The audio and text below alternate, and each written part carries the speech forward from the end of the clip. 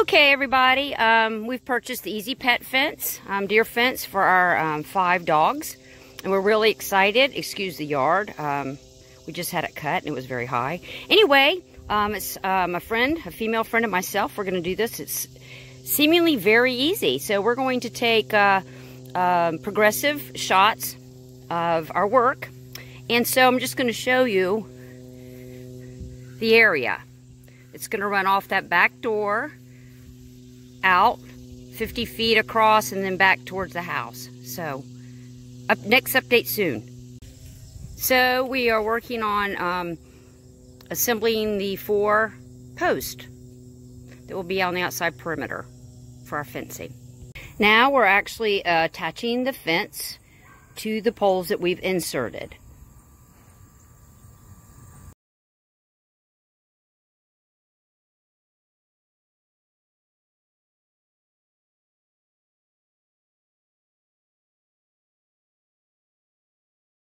So there's our fence.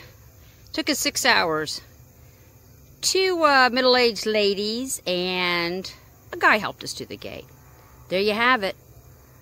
Uh, extremely affordable, completely safe for my, my pets. I don't have to worry about wildlife um, getting in or out. And I certainly have to worry about my, my pups getting out. So thank you, Easy Pet Fence. We love you. So it took us about seven hours to do this, give or take. We still have a couple little fine tuning um, pieces just to tighten things up, but two girls and a guy part-time did this and we are, couldn't be happier. It's perfect.